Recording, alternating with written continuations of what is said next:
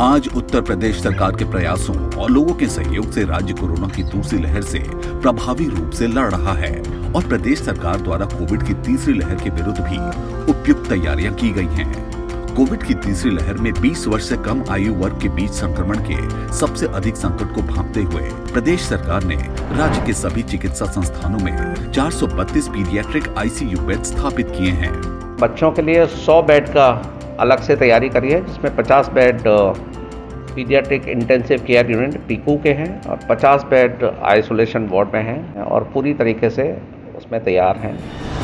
उत्तर प्रदेश के सभी अस्पतालों में पर्याप्त मात्रा में ऑक्सीजन की आपूर्ति के लिए 400 नए ऑक्सीजन संयंत्र स्थापित किए जा रहे हैं। साथ ही हर अस्पताल में वेंटिलेटर्स की उपयुक्त संख्या भी सुनिश्चित की गई है। बच्चों के इलाज के लिए मानव संसाधन की कमी न हो इसलिए सरकार द्वारा प्रदेश के हर जिला अस्पताल में पीडियाट्रिक मरीज़ के उपचार हेतु मानव संसाधन प्रशिक्षण देने की शुरुआत की जा रही है जहाँ विशेषज्ञों द्वारा चिकित्सकों और नर्सों को प्रशिक्षण दिया जा रहा है। पैंडेमिक की तैयारी हर जगह से वो पीक पर है।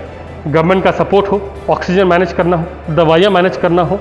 उत्तर प्रदेश सरकार ने अपनी दूरगामी सोच से कर ली है तैयारी तीसरी लहर की।